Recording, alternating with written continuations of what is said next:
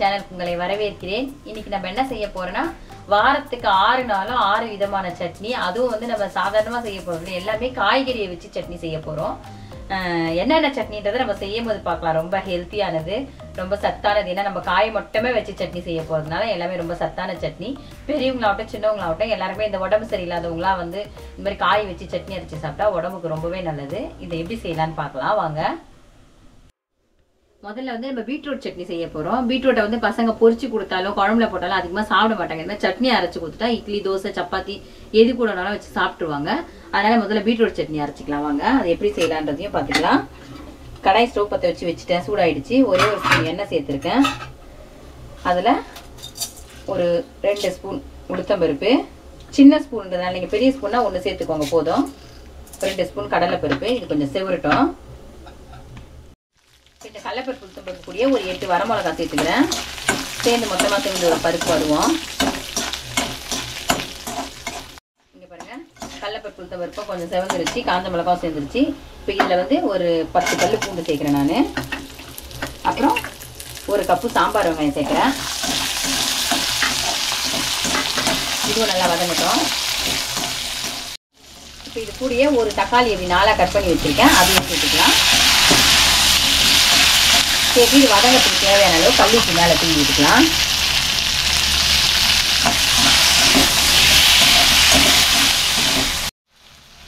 நம்ம போட்ட தக்காளி வெங்காயம் வதங்கிட்டு இப்போ இது கூட ஒரு சின்ன சைஸ் புளி சேர்த்துக்கிட்டேன் ஒரு கொத்து கருவேப்பிலைய உருவி போட்டுக்கிறேன். கொஞ்சமாக ஒரு புளி கொத்தமல்லியும் சேர்த்துக்கிறேன். இதோட நம்ம கட் பண்ணி வச்சுருந்தா பீட்ரூட்டை குட்டி குட்டியாக கட் பண்ணி வச்சுருக்கேன். நீங்கள் வேணால் திருவி கூட போட்டுக்கோங்க. போட்டு இது நல்லா இந்த பீட்ரூட் வந்து நல்லா எண்ணெயிலே வதக்கிக்கலாம். பொறுமையாக ஸ்டவ் ஃபுல்லாக சிம்மில் வச்சுட்டு கொஞ்சம் மூடி போட்டு வதக்கி எடுத்துக்கலாம். அப்போ தான் டேஸ்ட்டாக இருக்கும். திறந்து பார்க்கலாம் இப்போது நம்ம மூடி போட்டு நல்லா வதங்கினதுனால நல்லா வதங்கியிருக்கோம். பீட்ரூட் குட்டி குட்டியாக கட் பண்ணனால சீக்கிரமாக நல்லா வெந்துட்டுருக்கோம். பெருசாக கட் பண்ணி போட்டிங்கன்னா ரொம்ப நேரம் வேக வைக்கிற மாதிரி இருக்கும். இங்கே பார்த்தீங்களா எவ்வளோ ஜம்முன்னு வதங்கிடுச்சு இப்போ இதில் வந்து சும்மா ஒரு நாலு பல்லு தேங்காய் டேஸ்ட்டுக்காக போட்டு இவனை நம்ம மிக்சியில் அரைச்சிக்கலாம் ஆற வச்சு. இங்கே பாருங்க நம்ம பீட்ரூட் சட்னி அரைச்சாச்சு. இப்போ தாளிப்பை கொட்டி இறக்கிக்கலாம். எடுத்துக்கலாம். தாளிப்பில் கொஞ்சோண்டு கடலப்பருப்பு கடுகு பெருங்காயத்தூள் போட்டிருக்கேன். கருவேப்பிலை அவ்வளோதான் இந்த பீட்ரூட் சட்னி வந்து ரத்தம் குறைவாக இருக்கிறவங்க சாப்பிட்றது ரொம்ப அந்த ரத்த அணுக்கள்லாம் கூட்டுறதுக்காக இந்த சட்னி ரொம்பவே விசேஷம். இதை கண்டிப்பாக எல்லாரும் சேர்ந்து சாப்பிடுங்க சரிங்களா? அவ்வளோதான் பீட்ரூட் சட்னி ரெடி அடுத்தது நம்ம முள்ளங்கி சட்னி அரைக்க போறோம். முள்ளங்கி சட்னியில என்ன சத்துலாம் இருக்குன்னா நம்மளுக்கு வந்து நீர் சத்து அதிகமா இருக்கு. அப்புறம் வந்து இந்த ஜுரம் அடிக்கும் வாய் புண்ணுலாம் இருக்கு பாத்தீங்களா? அந்த டைம்ல எல்லாம் வந்து நிறைய பேர் சளி பிடிச்சிக்கும். முள்ளங்கி சாப்பிடக்கூடாது அந்த டைம்ல முள்ளங்கி சாப்பிடலாம். ஜுரத்தையும் குறைக்கும் வாய் புண்ணையும் குறைக்கும். சரிங்களா? இப்போ நம்ம வந்து முள்ளங்கி சட்னிக்கு போயிடலாம். கடாய் சூடு பண்ணிட்டேன். ஒரு ஸ்பூன் எண்ணெய் சேர்த்துக்கிறேன். ஒரு ஸ்பூன் கடலைப்பருப்பு. ஒரு ஸ்பூன் உளுத்தம்பருப்பு. அஞ்சு வரமிளகா நல்லா செவருட்டுங்க ஒரு நாலு பல்லு பூண்டு ஒரு கப்பு சாம்பார் வெங்காயம் ஒரு தக்காளி. அப்புறம் ஒரு கொத்து கருவேப்பிலை. ஒரு பிடி கொத்தமல்லி. இதையும் சேர்த்து நல்லா வதக்கிக்கலாம். வதங்கிறதுக்கு தேவையான அளவு உப்பு சேர்த்துக்கலாம் கல் உப்பு மேலே வதக்கிக்கலாம் இது வேணால் போட்ட தக்காளி வெங்காயம் வச்சு இப்போ கொஞ்சோண்டு புளி சேர்த்துக்கிறோம் ஒரு சின்ன துண்டு. அப்புறம் நம்ம துணி வச்சுருக்க முள்ளங்கியை சேர்த்துக்கிறோம். முள்ளங்கியை சேர்த்து இந்த தண்ணிலாம் நல்லா வற்றணும் முள்ளங்கியில் இருக்கிற தண்ணிலாம் வற்றி முள்ளங்கியே வேகணும். அதனால் அப்படியே ஸ்லோவாக வச்சு மூடி போட்டு ஏனையை வதக்கி எடுத்துக்கலாம்.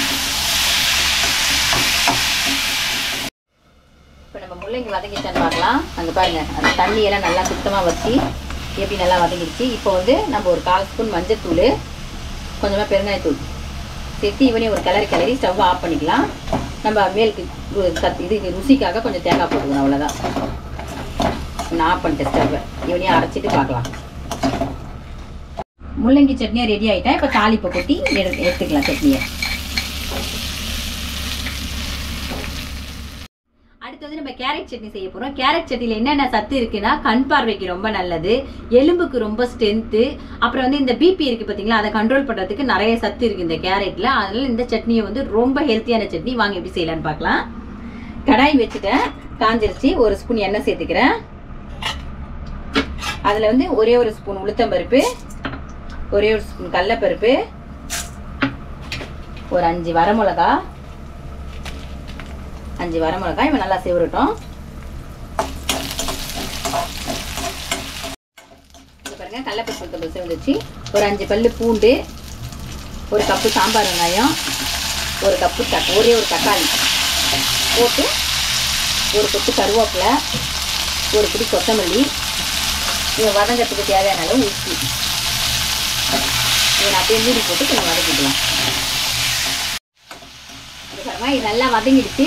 அடுத்து கொஞ்சம் புளி சேர்த்து நம்ம துருவி வச்சுருக்க கேரட்டை சேர்த்துக்கிறேன். ரெண்டு கேரட் துருவி வச்சுருக்கேன் நான். ரெண்டு கேரட்டையும் போட்டு நல்லா கவர் சிம்மில் வச்சு கேரட்டும் நல்லா அந்த தண்ணி விட்டு வதங்கி வெந்து வரணும். அது வரைக்கும் ஸ்லோவாக வச்சு மூடி போட்டு வதக்கிக்கலாம்.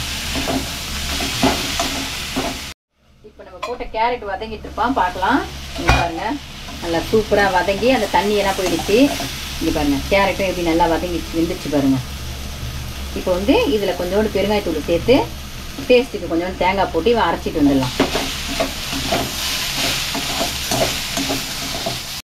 அவ்வளோதான் கேரட் சட்னி அரைச்சாச்சு தாளிப்பை கொட்டிக்கலாம்.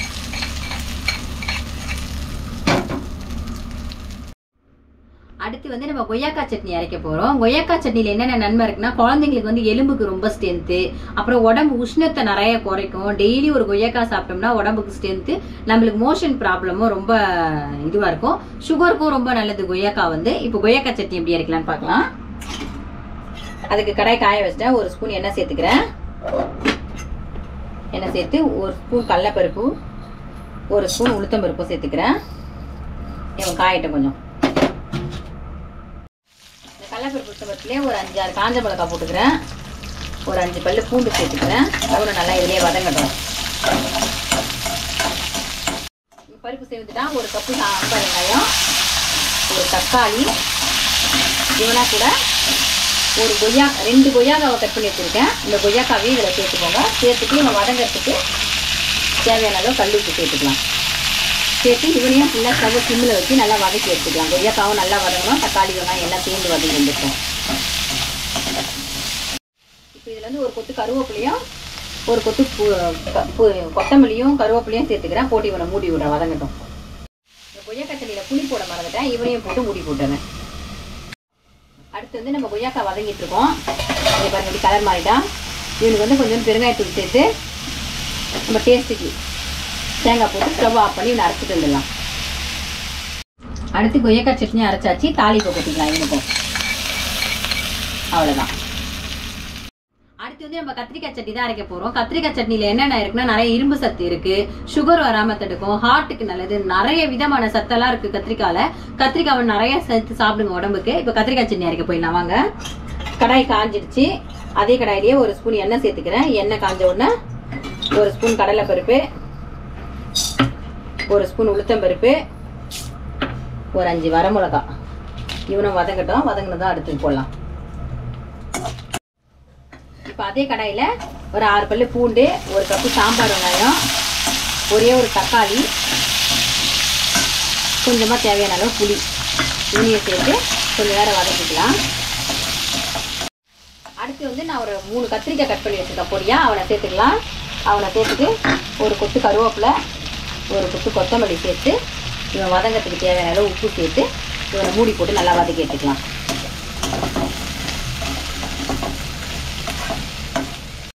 நம்ம கத்திரிக்காவும் வதங்கிச்சான்னு பார்த்துக்கலாம். அங்கே பாருங்க எப்படி நல்லா கலர் மாதிரி எல்லாம் வதங்கி ஜம்முன்னு வந்துருச்சு. நம்ம போட்ட கத்திரிக்காவும் எப்படி வதங்கிச்சு பாருங்க நல்லா. இப்போ வந்து இதில் கொஞ்சம் பெருங்காயம் சேர்த்து டேஸ்ட்டுக்கு ஒரு தேங்காய் ஒரு நாலு பல் சேர்த்து இவனை அரைச்சிக்கலாம் அடுத்து கத்திரிக்காய் சட்னி அரைச்சாச்சு. இப்போ தாளிப்பை கொட்டி எடுத்துக்கலாம். அடுத்து வந்து மாங்காய் சட்னி தான் அரைக்க போகிறோம் மாங்காய் சட்னியில் எவ்வளோ சத்து இருக்கு தெரியுமா? முடி வளர்கிறதுக்கு ரொம்ப நல்லது. நம்ம சாதாரணமாக ஏதாவது சாப்பிட்டுட்டு ஜீரணம் ஆகாமல் இருக்கும்போது ஒரு துண்டு மாங்காய் சாப்பிட்டு பாருங்க நல்லா ஏப்பம் வரும். அதனால ஜீரண சக்திக்கும் ரொம்ப நல்லது. மாங்காய் மாங்காய் சட்னி அரைக்கலாம். வாங்க. அதுக்கு ஸ்டவ் பற்ற வச்சு ஒரு ஸ்பூன் எண்ணெய் சேர்த்துக்கிறேன்.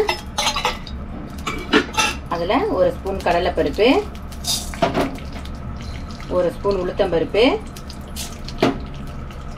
ஒரு அஞ்சு வரமிளகா ஒரு ஆறு பல்லு பூண்டு கொஞ்சோண்டு புளி. இவனை நல்லா வதக்கிக்கலாம். அவ்வளோதான் இந்த வதங்கிடுச்சு. நம்ம குட்டி குட்டியாக கட் பண்ணி வச்சிருக்க மாங்காவை இதில் சேர்த்து மாங்காய் வந்து நல்லா வதங்கணும்னு அவசியம் இல்லை. கொஞ்சமாக பெருங்காயம் சேர்த்து சட்னிக்கு தேவையான உப்பு சேர்த்து நம்ம ஸ்டவ் ஆஃப் பண்ணிக்கலாம். சட்னி அரைச்சிட்டு பார்க்கலாம். அவ்வளோதான் மாங்காய் சட்னி அரைச்சாச்சு இப்போ தாளிப்பு ஊற்றிக்கலாம் அவ்வளோதான் அவ்வளோதான் ஆறு நாளைக்கு ஆறு விதமா சத்தான சட்னி எல்லாமே காய்கறியை வச்சு செஞ்சுருக்கோம். தினமும் ஒரு நாளைக்கு ஒரு ஒரு சட்னியை செஞ்சு கொடுத்தா கூட குழந்தைங்களுக்கு இந்த சத்தெல்லாம் போய் சேரும். பெரியவங்களும் சாப்பிடலாம். இதை உடம்புக்கு நம்மளுக்கு இப்போ வயசாக வயசாக நம்மளுக்கு உடம்புல ஆயிரம் பிரச்சனை இந்த மாதிரிலாம் செஞ்சு சாப்பிட்டோம்னா நம்ம உடம்பு நம்மளே கண்ட்ரோலாக வச்சுக்கலாம். இது இந்த சட்னி எல்லாரும் செஞ்சு சாப்பிட்டு பாருங்க. எப்படி இருக்குன்னு கமெண்ட் பண்ணுங்க லைக் பண்ணுங்க ஷேர் பண்ணுங்க. மறுபடியும் அடுத்த வீடியோல பார்க்கலாம். பாய் நம்ம சேனல் சப்ஸ்கிரைப் பண்ணாதவங்க தான் சப்ஸ்கிரைப் பண்ணுங்க.